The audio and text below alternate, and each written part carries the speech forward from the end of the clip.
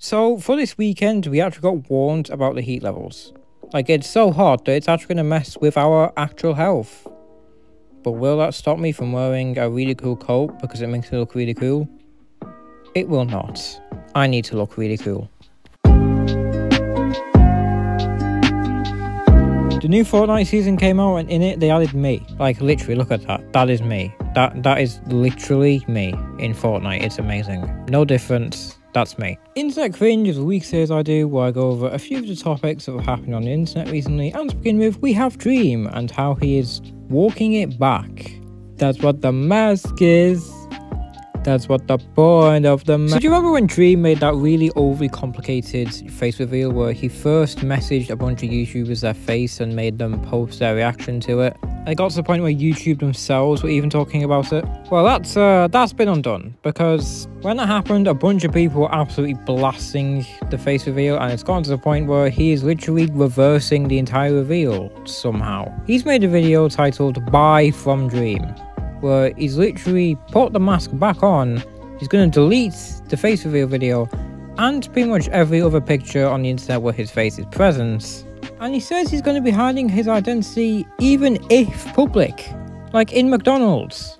Now, do you remember when COVID was a thing and we all had to wear masks and something like this was normal at this point? That was a good way to hide your face. But remember, I said was because COVID is over now and Wearing masks in public, I don't think a lot of people do that anymore. Especially not ones that cover your entire face. But also, considering this is the internet, deleting the video and all photos of you isn't exactly going to get rid of the image of your face. I mean, a lot of people have it. A lot of people have different copies of it. A lot of people, oh my god, I just realized. You know those people who like claim to be dream sexual or whatever? Those people will probably use that image to, oh, okay, you know what, I'm just going to move on. Now, obviously, you know, bullying, it's a very serious situation, especially because of your face, which is A, something you have no control over, and B, doesn't even look half bad, is obviously something you don't want to do, and you can feel for him, but deleting every picture you have of your face and wearing a mask in public, if he actually wears a mask in public, I, I don't know, maybe it's not going to work, and maybe it's a bit of a exaggeration. But yeah, I, I do have sympathies. We need to build a wall. Donald Trump's been indicted. Again. You may remember in March, I think it was, he got indicted for a possible hush money thing with a adult entertainer. And he's been indicted yes again on federal charges this time, which is a lot, lot, lot worse.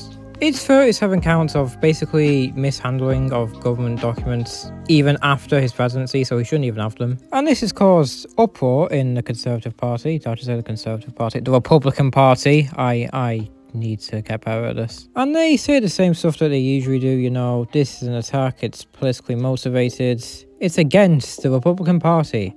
And according to this thing I read on this whole case, Donald Trump said to his lawyer, what if we didn't play ball?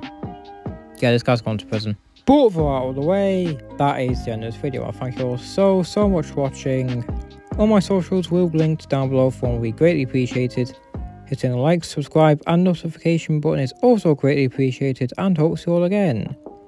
And like I always say, if I do see you again, it's when I see you again. Bye bye!